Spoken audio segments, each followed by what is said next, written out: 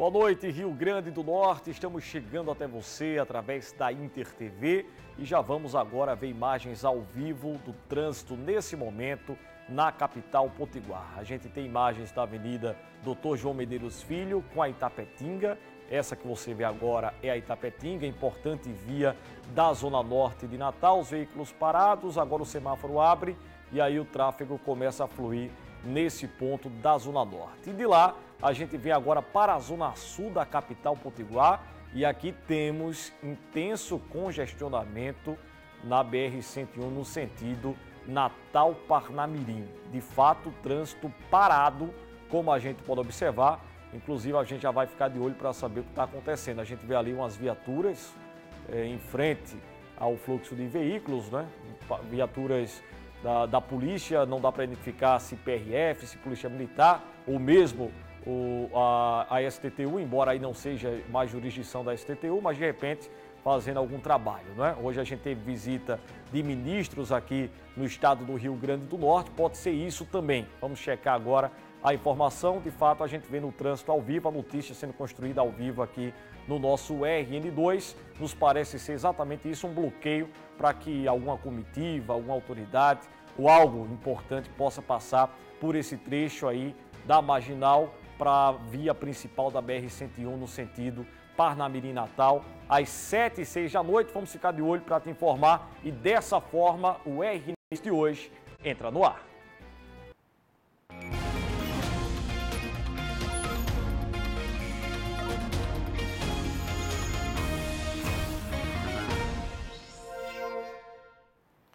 Só para confirmar, nossa equipe já checou a informação, de fato, é a escolta do ministro, da ministra Simone Tebet, que esteve no Rio Grande do Norte. Inclusive, daqui a pouquinho a gente vai falar sobre essa visita da ministra aqui a Natal e ela agora sendo escoltada né, para seguir com a agenda dela. Daqui a pouco a gente fala mais sobre esse assunto.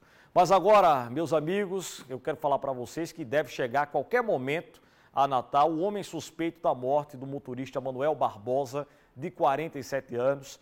O Manuel é aquele que foi assassinado ontem na Avenida Prudente de Moraes, aqui na capital Potiguar. Aquele crime no entorno de uma academia, inclusive o bandido entrou na academia lá na Prudente de Moraes e saiu com uma mulher como refém.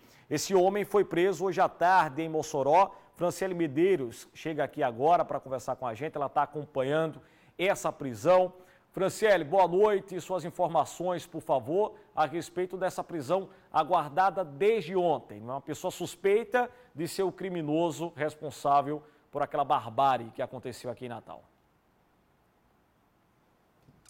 Oi, Ayrton, boa noite para você e a todos que estão nos acompanhando. Nós estamos aqui em frente à Divisão de Homicídios e Proteção à Pessoa, que fica aqui na zona norte da capital potiguar, aguardando a chegada do principal suspeito de ter cometido o crime, né, de ter, de ter atirado contra o Manuel Barbosa pelo menos duas vezes. Manuel Barbosa chegou a ser é, socorrido, mas não resistiu. Ele deve chegar a qualquer momento, o principal suspeito deve chegar a qualquer momento. A prisão foi feita agora, hoje à tarde, né, na cidade de Mossoró, foi feita, foi montada uma operação para encontrar esse homem.